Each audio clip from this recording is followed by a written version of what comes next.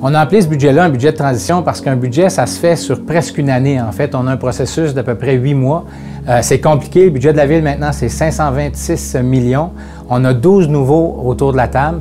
Donc, on a euh, pris le temps de, réfléchir ensemble et en public. On est une, des seules grandes villes du Québec où les discussions budgétaires se font en public.